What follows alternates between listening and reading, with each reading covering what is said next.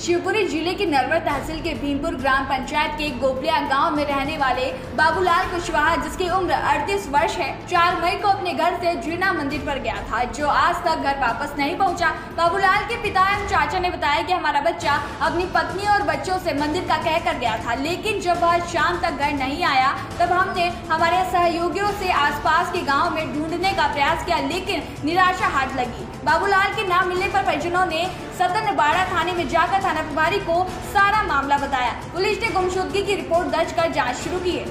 हमारे भाई का बच्चा था हमारा भतीजा था। अच्छा तो क्या कहना चाह रहे हैं इसके बारे में? कहना है सूचित तो सूचन कर रहे हैं हम सूचित सबको हाँ। कि हमारा बच्चा किसी भी भाई को किसी भी व्यक्ति को या सामने पड़े या मिले फ़ोटो के द्वारा हाँ। हम उसको इनाम भी देंगे हमारे घर तक सूचना दें वो जो गुमशुदा हुआ है गुम हुआ है वो आपका कौन था? भतीजा है हमारा सर। अच्छा तो क्या मतलब बताना क्या चाह रहे हैं उसके बारे में? वो जहाँ से सर चार तारीख को झन्ना की बोल के गया है। ये मतलब झरना स्थान की? हाँ झन्ना स्थान पर सीताराम धुन चल रही है तो वहाँ महीना में दो एक बार मतलब ये चले जाते थे महाराज जी फ़ोन लगाते जाओ। हाँ। उसके बाद में उसने वो चार तारीख को गया है उस लेकिन वापस लौट के आया नहीं है।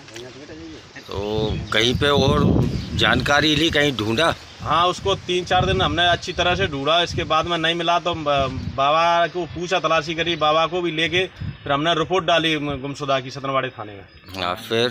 हाँ, उसके बाद में सर उनने अपनी कार्रवाई चालू कर शिवपुरी से कुलदीप गुप्ता की ये रिपोर्ट।